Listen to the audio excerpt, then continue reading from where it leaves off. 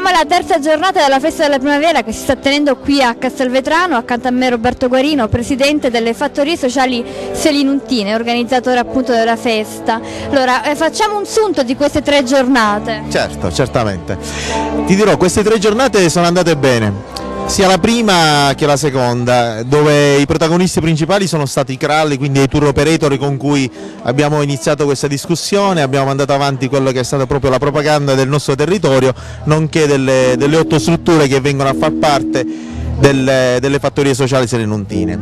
Non poteva certamente mancare quella che era l'ultima serata dove eh, davamo proprio ai cittadini quello che era un consunto, come hai detto bene tu, del, di tutta la manifestazione.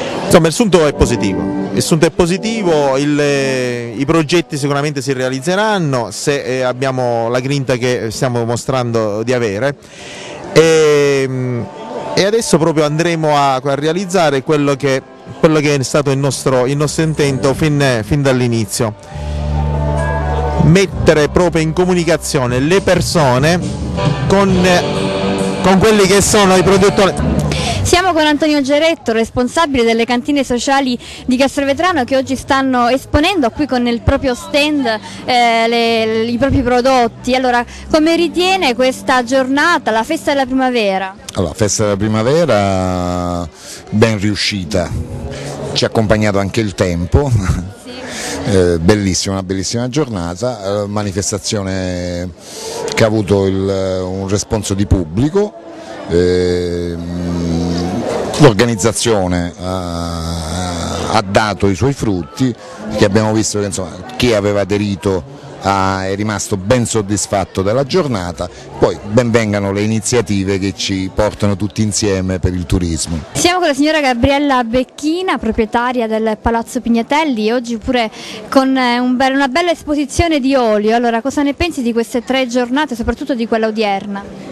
Io penso che siano di un valore assolutamente unico, sono anni che la, il territorio aspetta un'iniziativa di questo genere, mi sembra valido, è un buon inizio, segno di, di crescita e di possibilità future, qualsiasi cosa che può sembrare essere stata un'imperfezione non lo è, è tutto un inizio e augura bene. Anche una mostra di pittura alla festa della primavera, accanto a me la responsabile Lia Calamia, qui dietro di noi anche uno dei suoi quadri.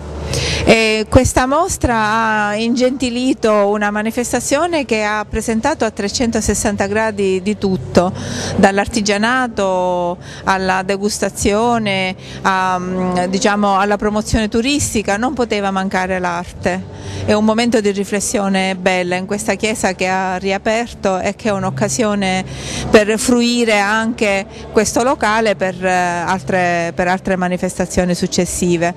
Penso che queste iniziative iniziative siano veramente lodevoli.